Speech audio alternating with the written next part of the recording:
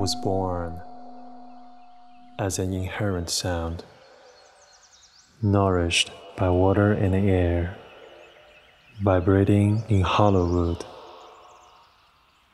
I travel through fingers and ears, through trees and sand. Then I was caught by the blink of light in a tunnel.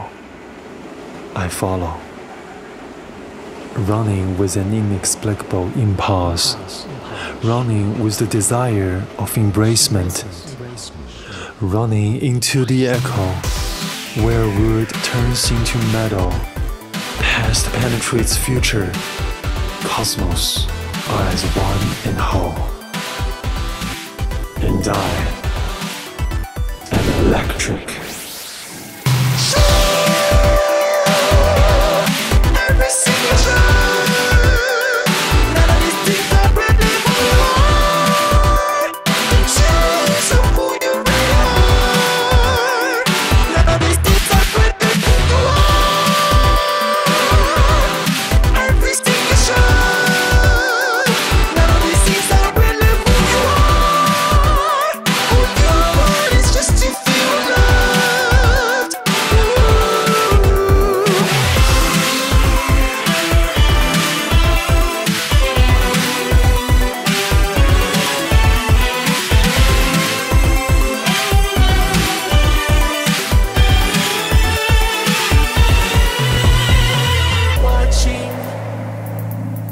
They're watching you all through.